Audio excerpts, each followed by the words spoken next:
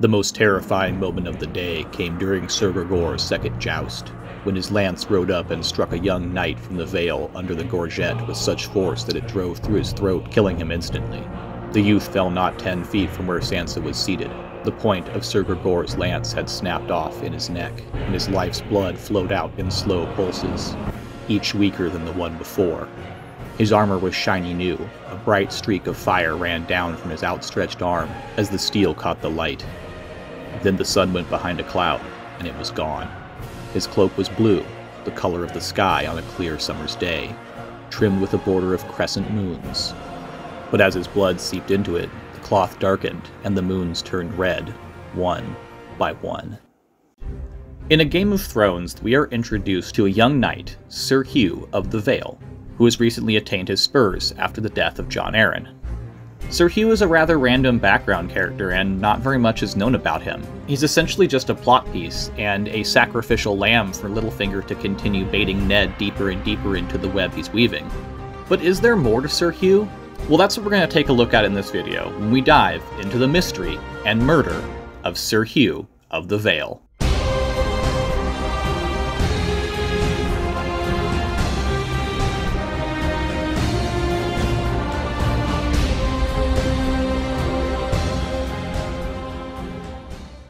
Now, Sir Hugh has no listed origin story. He simply appears in the retinue of Jon Arryn and is his squire. And this isn't something that is particularly interesting in and of itself. Knights and lords often have multiple squires and multiple attendants. So Sir Hugh's presence as a younger man in the retinue of Jon Arryn is not at all bizarre. What is bizarre is Sir Hugh's garb during the tournament and the fact that Sir Hugh is singled out by Littlefinger to be murdered, even though he seemingly does not actually know any information about Jon Arryn's death. Say what? I thought Sir Hugh totally knew about Jon Arryn's death, or maybe helped poison him. I mean, isn't that what Varys implies? Yes, true. However, later on, Lysa affirms to us that she in fact was the one who slipped the tears into Jon Arryn's wine, implying that this was a closed loop kind of thing, with her and Littlefinger plotting and then carrying out the murder together. Sir Hugh was an innocent bystander who just happened to get knocked off for the amusement of Littlefinger and to pull Ned Stark deeper into the intrigue. Or so it would seem. But here's when we return to that garb. In that little reading that I did, you've probably noticed that he was not only cloaked in the blue of House Arryn, but he had the crescent moons. Now, we're not told these moons are explicitly cream colored, but I'm guessing because they turn to red that they're kind of lighter white beige color that's absorbing this red easily. For example, if these were black or purple moons, they wouldn't be changing to red. Okay, random internet guy. He was dressed in the cloak of House Arryn. He was a squire to Jon Arryn. What, what are you trying to say? Are you trying to say that Sir Hugh is secretly an Arryn? Well, I feel that there is at least a possibility this could be true. Lord Arryn was a kind and trusting man. There was a boy. All he was, he owed to Jon Arryn. But when the widow fled to the Eyrie with her household, he stayed in King's Landing and prospered. It always gladdens my heart to see the young rise in the world. He would have cut a gallant figure at the tourney, him in his bright new armor, with those crescent moons on his cloak. Pity he died so untimely before you could talk to him. I will also note that a slight reinterpretation of what Varys is saying may be hinting at Sir Hugh's potential links to House Arryn, so maybe he does know more about Littlefinger's schemes than he's letting on to, and he's just ambiguous and evasive when it comes to his language when dealing with Ned Stark. Now, whether or not Sir Hugh is secretly a back pocket heir to the Vale, or if he's just a lesser member of House Arryn that couldn't compete with Harry the Heir, or whether Sir Hugh may potentially have been a bastard of Jon Arryn and an illegitimate heir, are all unknown. This might be an interesting time to bring up why Sir Hugh chose not to return to the Vale. Varys implies that Sir Hugh owed everything he had to Jon Arryn, and it was suspicious, or at least it is implied that it's suspicious, that he failed to return home to the Vale upon Jon Arryn's death, with Lysa Arryn and the rest of the Hand's retinue. However, shining a new light on this and thinking about the possibility that Sir Hugh is a bastard or some other kind of non preferenced member of a lower order of House Arryn, maybe the bastard of a brother or a cousin, might help us explain a little bit about why he wouldn't return home with Lysa's retinue. Bastards and other potential house threats and lesser heirs are often looked down upon and treated quite poorly. Jon Arryn's presence may have been was protecting Sir Hugh against ostracization, and thus a return to the Vale might not have been that appealing to Sir Hugh, who now, as a knight, had the opportunity to make something of himself. Such possibilities might have been limited in the Vale, assuming Lysa viewed Sir Hugh as a threat to the legitimacy of her son's rule, and she does seem to be really irrational about Sweet Robin, so even if Sir Hugh stood no chance to inherit, she still may view him as a threat. Now, you may already have noticed that I've been accusing Littlefinger of conducting the murder. And this might have raised some red flags for you. I mean, what kind of proof do I actually have that Littlefinger is the one pulling the strings here? Well, when you think about it, I think it's actually pretty easy to pin this on Littlefinger. There are kind of only four real suspects in my mind. Random people who work putting on the armor, like squires and potentially stable hands or pages. Sir Gregor himself, in some kind of desire to just murder someone straight up in a tourney, even though he's apparently not known for doing that. I.e., we get no introduction of Sir Gregor as that guy who kills folks at tourneys. Varys himself is also on the list, but I think there's pretty reasonable evidence to suggest against Varys and rather to imply that Varys is at this point being a little bit duped by Littlefinger, a fact that he does seem to admit openly in the book series. And finally, our last most likely suspect is Littlefinger himself.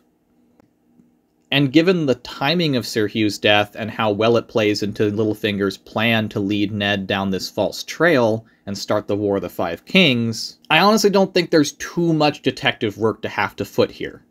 I should point out that Littlefinger also heavily manipulates the questioning of Sir Hugh, convincing Ned Stark to send a representative, one not of high and noble birth like himself, mind you, to speak with the young arrogant knight. And it would appear to be this manipulation that leads to Ned not garnering any useful information from Sir Hugh, as Jory Cassel is basically just dissed and told to go home. This incident further highlights Littlefinger's heavy control and manipulation over the entire development of the Sir Hugh situation. So with Littlefinger in mind, let's take a look at Sir Hugh's actual death at the tournament. Now there are a couple of ways to look at this. One is that it was legitimately an accident. Somebody fucked up, they didn't buckle the gorget right, Sir Gregor's lance just rode off point and killed him.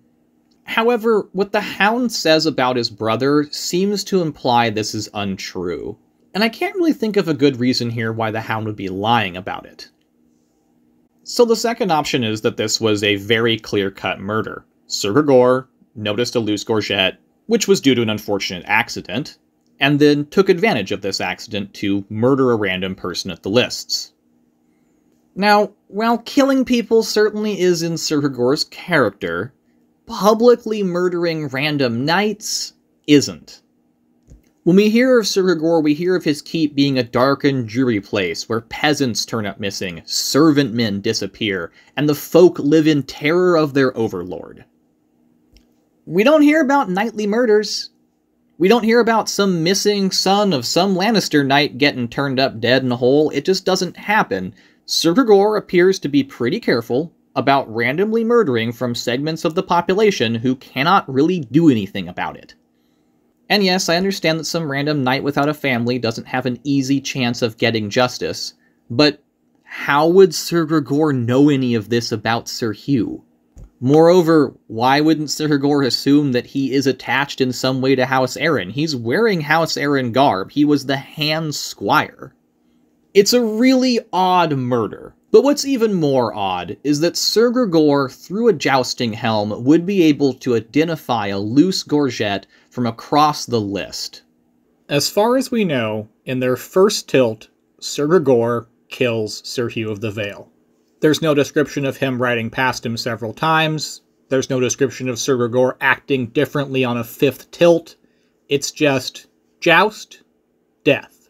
So this means that for this to be true, Sir Gregor would have have to have noticed a loose fastening or an offset gorget from many, many yards away, through a jousting helmet, no less. And then he would have to, in that moment, choose to kill this random knight who he knew nothing about. Setting aside the fact that Sir Gregor may not even have been able to see Sir Hugh's armor all the way if it were obscured by a tabard or his blue cloak for some reason, this seems like a highly unlikely option. And so essentially we're left with a third option, and that is that Littlefinger has carefully spread some money around to the master of the lists, maybe a squire, and Sir Gregor, in order to set up this murder in front of Eddard Stark. And when you think about it, the fact that so many pieces need to be in the right place at the right time really does ring of the chess master, if you will. Not only did Sir Hugh have to meet Sir Gregor in the lists, but he had to have his gorget put on him properly and Sir Gregor had to identify this somehow, or much more likely, know about it. Furthermore, Sir Gregor then had to make the choice to kill. All of which seem highly unlikely, even for Sir Gregor, given the circumstances. He has yet to suffer any tragic defeats, and thus is not enraged. Weighing the murder in totality, it becomes rather apparent that Littlefinger is the only one with motive, means, and opportunity all combined in this scenario. So call me an idiot in the comments section. I'm hanging up the Sherlock cap and pinning this one firmly on Littlefinger. Okay, but that said, we're now left with kind of a weird mystery. Assuming Sir Hugh is a rando who knows nothing, why does Littlefinger need to kill him? I mean, surely there are other ways for Littlefinger to put the Starks and Lannisters at odds. Well, this is where Sir Hugh's potential Arryn blood comes back into play. Now, if you watch my channel, you know that I believe that Littlefinger is a much sturdier long-term schemer than he is a short-term planner, manipulator, or agent of chaos. So examining Littlefinger from the long-term planner perspective, we know he's making a play on the Vale. And we know he's making a play on the Vale that involves shuffling the leadership, it involves him being in a management position for a long time. Littlefinger is heavily interested in who the heirs are and controlling them, and potentially, it would seem, even eliminating them. Littlefinger's care of Sweet Robin has been less than tender, and it does not seem that he has any desire to necessarily see Sweet Robin through to adulthood. So I think that Sir Hugh being related to the seat of the Arryns would actually make his murder and incorporation in general into Littlefinger's plan make a lot more sense. For Littlefinger, the trajectory of the War of the Five Kings ends with him in the Vale, and it ends with him controlling the leadership of the Vale. This is a task that would be made a lot easier if any potential heirs, especially ones as arrogant and intractable as Sir Hugh, were eliminated from the playing field. So why not just indoctrinate Sir Hugh and wrap him up into your little fingery schemes? Why not wrap him up in your little finger? If you recall Sir Hugh's behavior, Sir Hugh is arrogant, and, as I said, intractable. Furthermore, Sir Hugh was close to Jon Arryn, so Sir Hugh may want to embody the actions of Jon Arryn.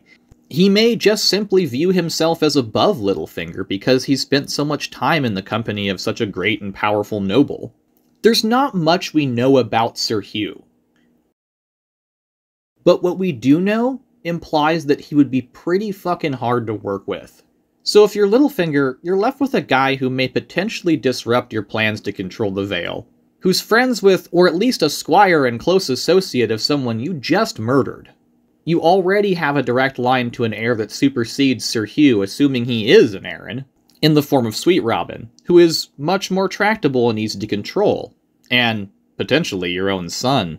And sitting next to all of those negative qualifiers around Sir Hugh, you have a need to keep Ned Stark on the trail against the Lannisters and fuel his suspicions that they were involved in the murder of Jon Arryn. It kinda seems like Sir Hugh's fate would have been sealed long before Jon Arryn's death.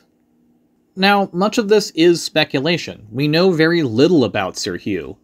His wiki history just says that he squired for Jon Arryn for four years, desperately wanted to become a knight, was knighted by Robert, and was close to nobody except his mother in the Vale. And I have been unable to find any sort of lineage tree with Sir Hugh in it. And I think with that, we're going to have to leave the video here. It's been a long and rambly journey, but I hope you found some interesting elements in what I've gone over. And no doubt we'll end up returning to some of these topics in the Littlefinger 5 video. Is Sir Hugh an Arryn? Is he a potential heir to the seat of the Vale? Let me know. Leave me some comments and tell me what you think. And of course, if you enjoyed the video, like and subscribe and all that YouTube nonsense. Thank you for watching, and I will see you next time.